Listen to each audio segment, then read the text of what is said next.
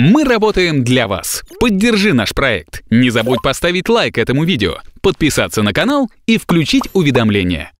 Например, эмбрион формируется, да, если символически рассматриваем, да, если что-то пошло не так, то ребенок рождается с патологией, с физической, да, то, что вот как раз там дети инвалиды, вот. А здесь как бы идет тоже развитие, да, и, и даже это, кстати, можно следить тоже внутриутробно у многих детей у этих э, еще до того, как они родились, еще как вот в каком, какой, как было вот, с чем было связано их рождение, да, вот как я сказала, что, например, вообще не было отца, то есть этой истории нету, да, это уже значит какое-то депрессивное состояние у матери, которое будет вынашивать эту беременность.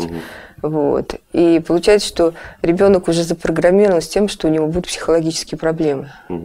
Понимаете, потом э, роль матери, там, первые три года. Мать для ребенка э, образует вот это психическое пространство, она формирует его психику. Э, ядро, кстати, депрессии формируется до двух лет. До двух лет, да? Да, то есть если, например, у матери была послеродовая депрессия, связанная ну, вот там с недоверительными отношениями там, с мужем, да, или с мужчиной, который ее бросил беременную. Соответственно, ребенок сразу в группе риска, что у него будет да, депрессия в, в подростковом и в взрослом возрасте. Потом подключается, так должно идти в норме развития. На, на третьем году подключается отец.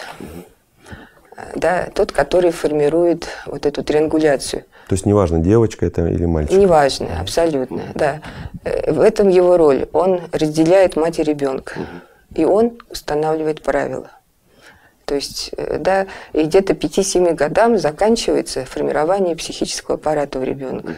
Его там защитный механизм, с которым он будет впоследствии справляться в стрессовых ситуациях. Понимаете, а как я уже сказала, у этих детей нет отцов, да, у 70% или отец, который не участвует в жизни ребенка, а это значит, что его вся структура психики, она искажена.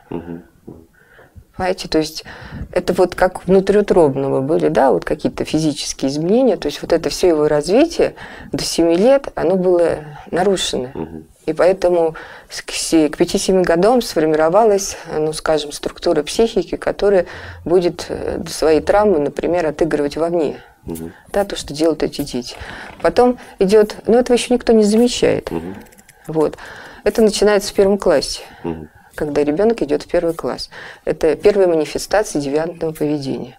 Например, там ребенок хулиганит. Угу там, прячется под парты, отнимает там, ручки, там, дергает. Ну, за косички, да? Да, за косички. То есть мы знаем таких детей. Есть, наоборот, ребенок, который все время плачет, который боится выходить э, к доске. Он становится изгоем. Да? Хулиган становится изгоем для учительницы, она его пересаживает на заднюю парту. Э, такой ребенок, который тревожный, он становится изгоем для детей. То, что мы называем буллингом. Да? Впоследствии эти дети подвергаются часто травле. Вот. И как бы все это так плавно, медленно развивается.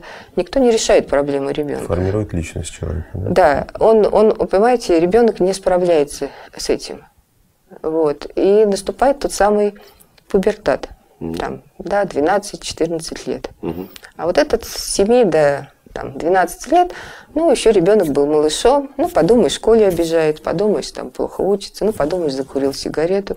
А когда они входят в пубертат, вот в эти, там, там ну, к 14 годам, активный пубертат, угу. когда у них начинается протестное, оппозиционное поведение, э, и вот они все проблемы, все, что были до 7 лет, угу и, возможно, те какие-то да, проблемы у ребенка, которые были в школе, это все просто, вот, знаете, взрывается, как ядерный взрыв.